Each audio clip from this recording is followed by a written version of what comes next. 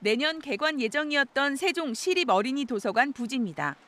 1년에 걸친 설계 마무리 단계로 착공을 코앞에 두고 사업이 중단됐습니다. 세종시가 열악한 재정을 이유로 올해 관련 예산을 전액 삭감했기 때문입니다.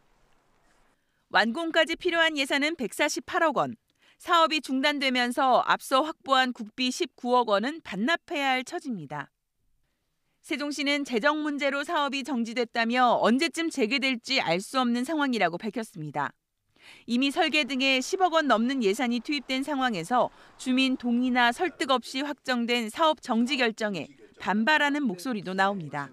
17개 시도에서 없는 우리 시만 없는 이거를 지금 4년 정도 저희가 계획을 해서 들어왔던 사업인데 이게 한순간에 이렇게 갑자기 변경되는 것 자체도 이해도 안 되고 세종시는 지난해 이미 재정 악화를 이유로 민선 사기 핵심 사업인 국제 정원 박람회를 1년 연기했고 시내버스 무료 정책도 정액제로 전환했습니다.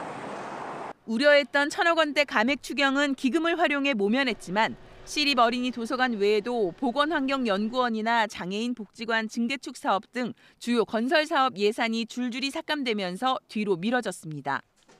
이런 가운데 그동안 정부가 전액 부담했던 세종시내 공공시설 건립비를 세종시가 절반 부담하는 안마저 최근 확정 고시돼 재정 압박은 더욱 가중될 전망입니다.